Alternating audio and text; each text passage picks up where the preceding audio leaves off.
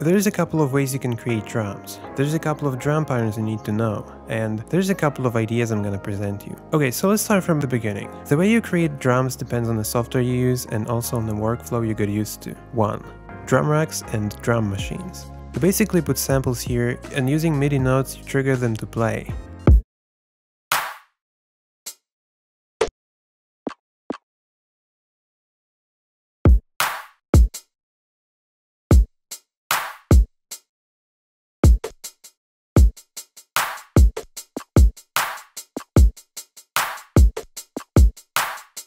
Let's talk about pros and cons. Pros. Switching samples is quick and easy. Playing drums live on your MIDI device is possible. Writing drum patterns is also quick and easy. Cons. You need to click more times to change the volume or panning for example. 2. Making drum loops on a timeline. You just drag samples onto your timeline, preferably to different tracks so you can process them differently, and that way by duplicating you create drum patterns.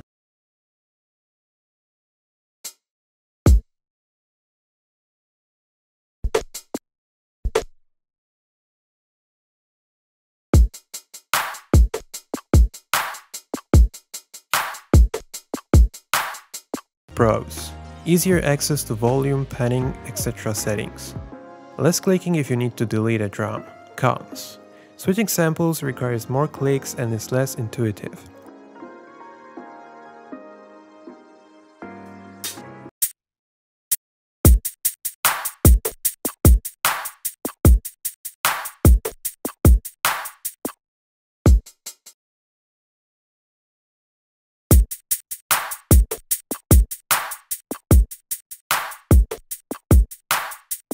You can't play drums live on your MIDI device. Writing drum patterns take more time and effort.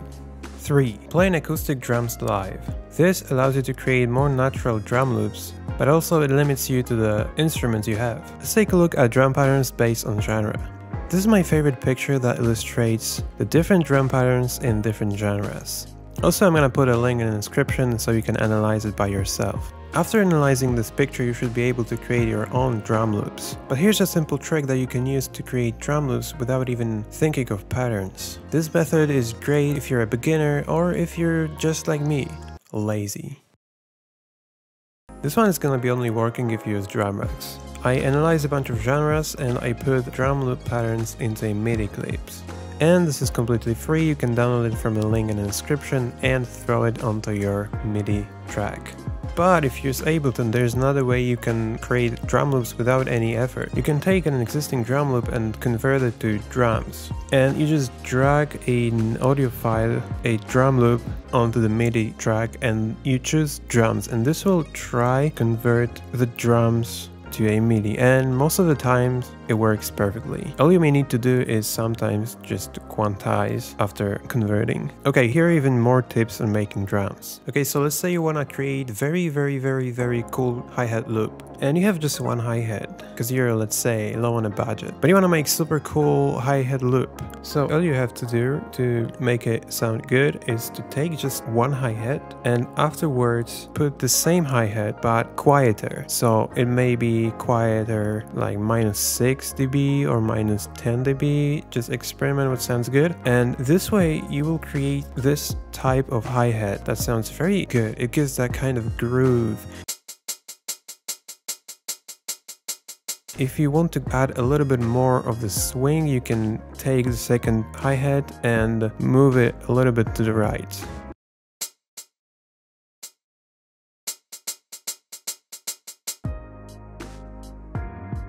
So the hi-hat rolls are very fast hi-hat loops. So while making them, experiment with velocity so the hi-hat roll fades in or fades out. Conclusion.